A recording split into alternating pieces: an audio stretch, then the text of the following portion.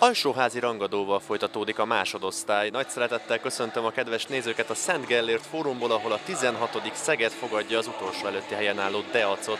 A szegediek zsinórban két győztes meccsel a hátuk mögött váratják a találkozót, míg a hajdúságiak idegenben eddig még nem szereztek pontot. Ismerkedjünk meg a két együttes összeállításával, a vendégek kapuját Szabados István védi, őt Sándor, Spitzmüller, Belényesi, Takács Péter, Nagy, Balog, Damsádi, Gyönyörű, Székely és Burai követi a kezdőben. Dobos Barna vezetőedző két helyen változtatott a Szolnok elleni győztes csapatán.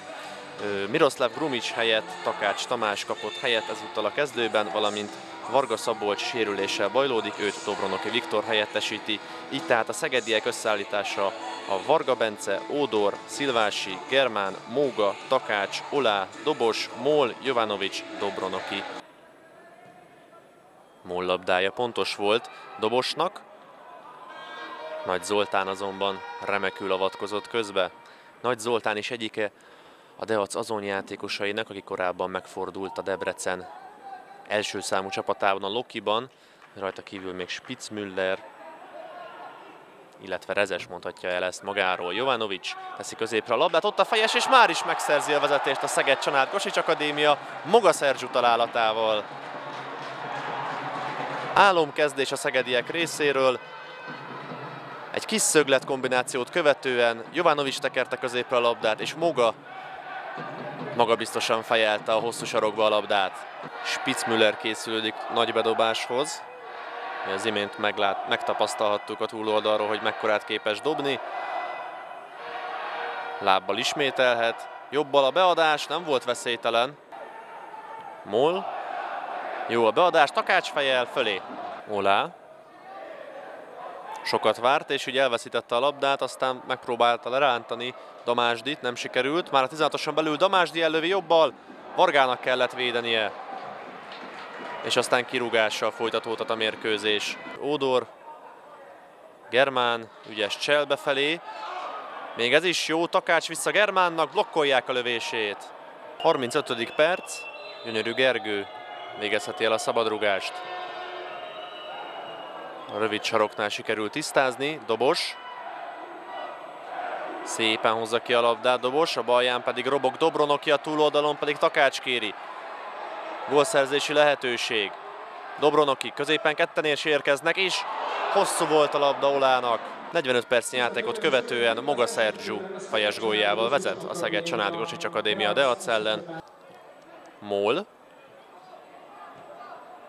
mint a kézilabdában úgy körbeadogatta most az ellenfél kapuját a Szeged. Ott a lövő helyzet, és nagyot kellett védeni a Szabadosnak. Dobronoki fogja a fejét. Dobos. Mol teszi középre Takács, át tudta venni. Kapura fordulna vele Takács, inkább kijátsza Dobosnak, lágyan középre, ott a fejes Germán, gól! 2-0, azt hiszem, hogy eldőlt a mérkőzés. 68. perc, Dobos nagyszerűen tette vissza középre a labdát, Germánról pedig teljesen megfeledkezett a debreceni védelem. Kiszolgáltatott helyzetben volt Szabados, 2-0 Germán Tamás góljával. Szép, Gréci, gólhelyzet, Gréci, és kivédi Szabados. Meg lehetett volna a fiatal szélső első gólja a szezonban. Damásdi. Lehúzza az alapvonal felé, lágyan középre emeli a hosszú oldal felé, és szépít a Deac. Belényesi Csaba volt az, aki bebólintotta a labdát a hosszú oldalon. Lesz még így izgalom a hátra lévő 6 percben plusz ráadás. Szépen szerez labdát Olá.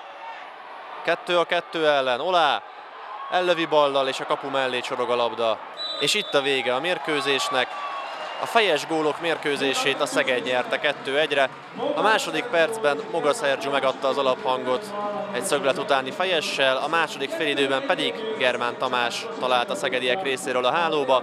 A hajrá tartogatott némi izgalmakat, hiszen Belényesi Csaba révén szépített a Deac, de az egyenlítése már nem maradt ereje a hajdúsági együttesnek. A szegediek jövő héten vasárnap a Vasas vendégei lesznek. Én a végeredménnyel búcsúzom.